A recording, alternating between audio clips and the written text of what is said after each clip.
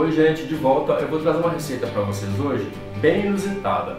É o bolo Marta Rocha. Para quem não conhece a Marta Rocha, Marta Rocha foi a Miss Brasil em 1954. Essa história eu vou contar para vocês bem detalhada, mas como o vídeo vai ficar muito extenso, muito longo, aqui na descrição do vídeo aqui embaixo eu deixei toda a história da Marta Rocha para vocês. Eu lembro de quando a gente fazia confeitaria, fazia cursos, quem sabia fazer o bolo Marta Rocha era a melhor pessoa que tinha. E era uma avaliação para quem fosse passar de curso. Deixa eu pegar aqui para você. Bom, esse é o bolo que a gente vai aprender hoje. Já está faltando um pedaço porque o pessoal daqui já comeu.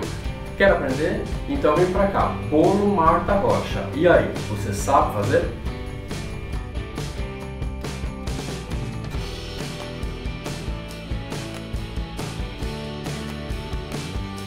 Na batedeira, bata 6 claras em neve em picos firmes.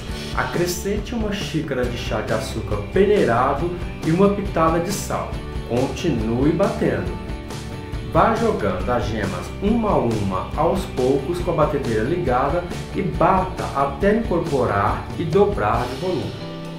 Não se esqueça de colocar uma colher de sopa de baunilha para tirar o cheiro do ovo passe para outra vasilha e acrescente de uma só vez uma xícara de chá de farinha de trigo peneirada, duas colheres de sopa de amido de milho maisena e uma colher de sopa de fermento em pó. Mexa com a ajuda de um fouet, mas sem bater. Divida essa massa em duas partes iguais. A primeira parte coloque em uma forma untada e enfarinhada e com papel manteiga embaixo. A segunda parte, acrescente duas colheres de sopa de chocolate em pó, mexa e coloque em uma forma untada e enfarinhada com chocolate em pó. Leve para assar em forno pré-aquecido a 180 graus por cerca de 30 minutos ou até que estiverem levemente dourados. Creme chantilly. Na batedeira, bata 500 gramas de creme para chantilly gelado Acrescente aos poucos uma xícara de chá de açúcar e continue batendo até obter um creme liso e uniforme. Reserve. Suspiros. Na batedeira, bata 4 claras em neve e em picos firmes. Acrescente aos poucos duas xícaras de chá de açúcar, uma pitada de sal e uma colher de chá de essência de baunilha. Bata tudo isso até obter um creme denso. Coloque no saco de confeitar e com o bico pitanga faça suspiros em uma forma forrada com papel manteiga. Leve para assar em forno baixo, mínimo, com a porta entreaberta até secarem completamente. Creme de ovos. Em uma panela de fundo grosso e no fogo baixo, misture 6 gemas peneiradas, uma xícara de chá de açúcar, uma pitada de sal, duas colheres de sopa de amido de milho maisena, um vidro de leite de coco 200 ml e uma xícara de café de leite. Leve ao fogo e deixe levantar a fervura. Mexa tudo isso até que comece a desgrudar do fundo da panela. Apague o fogo e acrescente uma colher de sopa de manteiga. Misture e deixe esfriar em temperatura ambiente. Doce de ameixas. Retire toda a calda das ameixas e reserve. Leve 240 gramas de ameixas sem caroços ao processador. Passe para uma panela e em fogo baixo, uma colher de sopa de manteiga, duas colheres de sopa de açúcar, uma pitada de sal e uma xícara de café de água, as ameixas. Misture até ferver e formar um creme liso e denso. Deixe esfriar.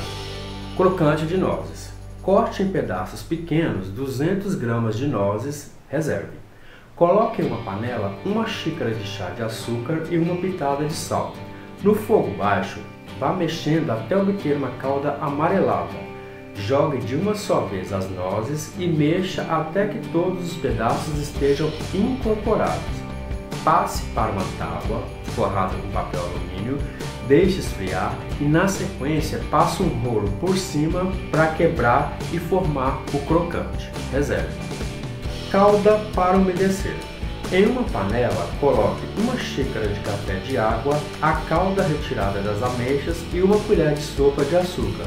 Leve para ferver por 2 minutos e deixe esfriar em temperatura ambiente. Fio de ovos. Misture em um recipiente 2 xícaras de chá de água, 2 xícaras de chá de açúcar e uma pitada de sal. Mexa tudo isso até dissolver o açúcar totalmente. Leve ao fogo baixo, acrescente uma colher de sopa de manteiga e deixe ferver até ficar com uma calda fina. Peneire por duas vezes 10 gemas e acrescente uma colher de sopa de essência de baunilha. Misture. Coloque em um saco de confeitar com bico liso, o mais fino que você tiver, e vá fazendo círculos dentro da água quente com a mistura. Isso pouco a pouco. Depois de dois minutos cozinhando, retire e jogue de uma só vez em água gelada. Retire e deixe escorrer em uma peneira e reserve. Agora, acompanhe comigo a montagem.